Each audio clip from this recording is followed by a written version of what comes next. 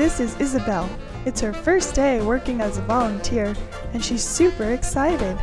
First, Isabelle is going to make popcorn. She turns the machine on. Then she fills a cup with canola oil and carefully pours it into the pot.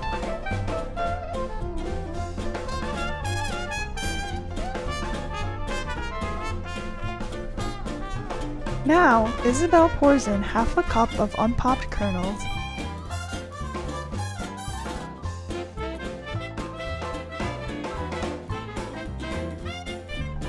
closes the lid and shuts the door.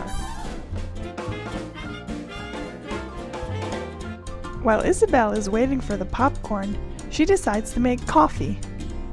First, she takes a filter and places it in the coffee maker.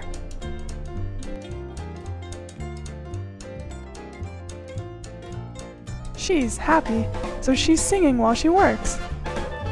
Then Isabelle pours a cup of ground coffee onto the filter. Now she fills up the pot with water and adds water to the coffee maker. Make sure you don't spill.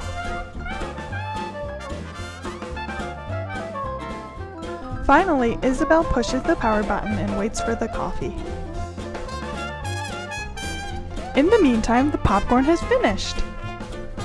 Isabelle turns off the machine, opens the door, and releases the pot.